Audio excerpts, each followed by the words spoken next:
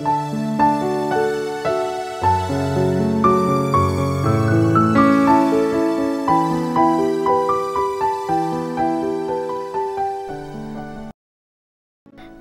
sự mừng. Thứ nhất thì gẫm, Đức Chúa Giêsu sống lại. Ta hãy xin cho được sống lại, Thật về phần linh hồn.